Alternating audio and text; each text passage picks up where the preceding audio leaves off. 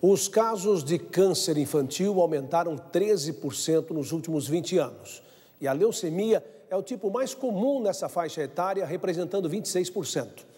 A boa notícia é que nessa etapa a doença tem grandes chances de cura.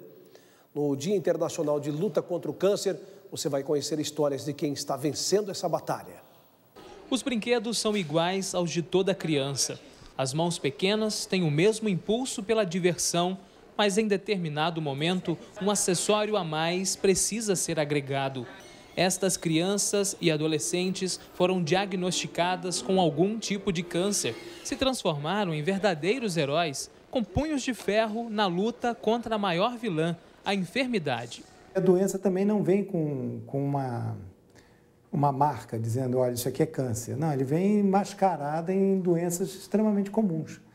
Então, uma criança com, com uma palidez, por exemplo, e febre, é claro que o mais provável para isso é uma infecção comum, a famosa virose que toda criança tem, né? E, mas é, isso pode ser um, o início do quadro de uma leucemia. O GAAC, em São José dos Campos, no interior de São Paulo, é um desses centros especializados. Cuida de mais de 500 crianças e adolescentes com câncer. A garotinha Lívia esbanja a alegria por todo o hospital, mesmo depois de ter adquirido um tumor no sistema nervoso central, muito comum na infância. Tem apenas quatro anos, uma arma a mais própria das crianças para resistir ao tratamento e garantir mais de 60% de chances de cura. Quando eles dão um diagnóstico para a gente, que a gente começa o tratamento, que a gente vê eles tendo resultado, a gente fica feliz porque a gente sabe que eles estão sendo curados. E a Lívia, logo na primeira quimio, ali já teve um resultado muito bom. A gente já sai daqui com uma esperança que a gente não cabia nem no coração da gente, de tanta felicidade que a gente ficou. Ela mesma sente as melhoras. Como é que você está? Tô bem. E o oncologista confirma a eficiência do tratamento. A grande coisa em relação à, à chance de cura, e isso é absolutamente comprovado, é se o paciente vai ser tratado num centro especializado ou se não vai ser tratado nesse centro. Então, todo paciente que é tratado em centros, é, centros próprios de tratamento de câncer infantil tem um prognóstico melhor do que aqueles que não são. Uma boa notícia que, associada ao apoio da família, aumenta ainda mais as expectativas de cura.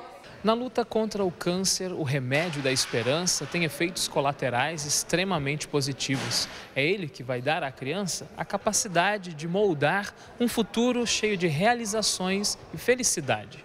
A Maria de Fátima é testemunha de como a fé e a esperança lhe fizeram bem ela concluiu o ciclo do tratamento e já retornou para casa hoje mesmo, após a gravação.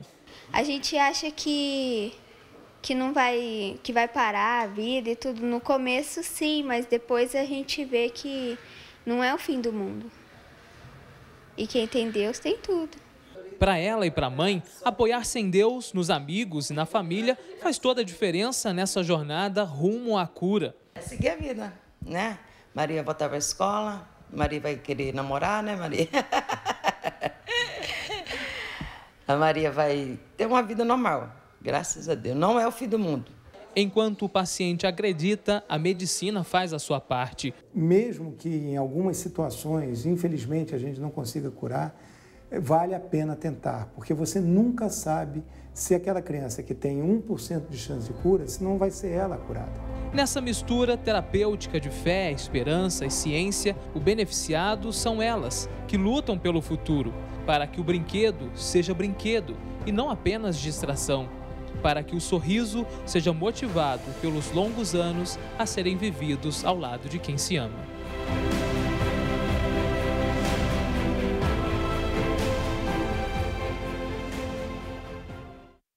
São exemplos para nós, né? Se agigantam diante de uma situação adversa. Que lindas, hein, Reinaldo? Eu fiquei aqui emocionada. Sim. E também com o testemunho da Maria, que ela disse: quem tem Deus tem tudo. Com certeza.